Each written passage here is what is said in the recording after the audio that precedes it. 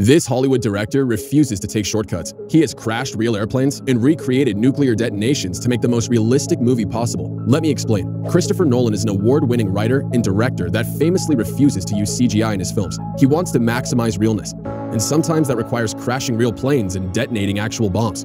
Here are three of the craziest examples. For the epic cornfield chase scene in Interstellar, Nolan spent $100,000 to plant 500 acres of real corn on a remote farm in Canada.